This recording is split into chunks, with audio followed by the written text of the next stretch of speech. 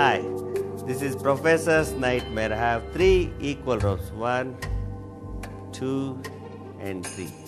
If I do like this, I have three unequal rope. One is very small, one is medium, and one is very large. I place this small here, large here, and medium here. If I do like this, I have all the three ropes are equal. See, one, two, and three.